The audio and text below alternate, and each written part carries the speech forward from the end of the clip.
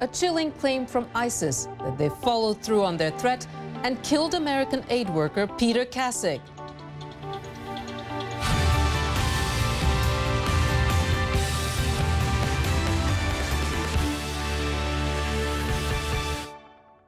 Hello, everybody. I'm Ralitsa Vassileva, and you're in the CNN newsroom. Reports that ISIS has beheaded another Westerner are being met with horror and condemnation around the world. In a video posted online, the Vassileva, I'll have your top stories in just a moment.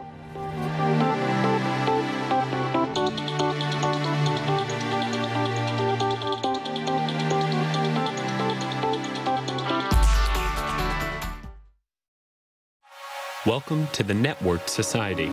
CNN.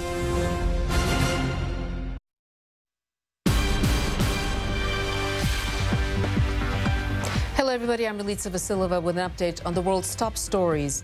The U.S. and Britain are condemning the reported beheading of American hostage Peter Kassig at the hands of his ISIS captors.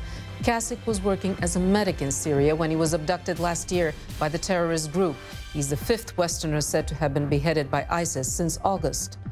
World leaders closed out the annual G20 summit by agreeing to a series of measures to boost the global economy. Several G20 member countries also warned Russian President Vladimir Putin to stop interfering in Ukraine or risk more sanctions. The top U.S. military officer says the tide is turning in the battle against ISIS in Iraq.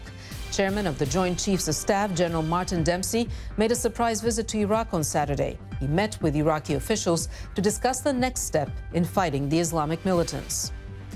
Four months after the tragedy, Dutch crews are finally starting to remove the wreckage of Malaysia Airlines Flight 17 from rebel-held territory in eastern Ukraine.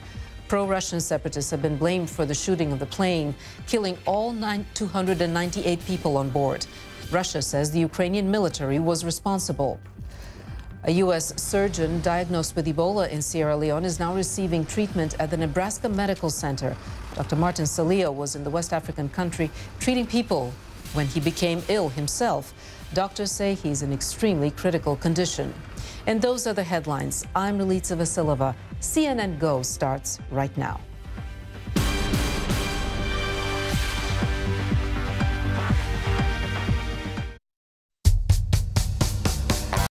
I'm Ralitsa Vassileva, and that was Connect the World. Thank you for joining me.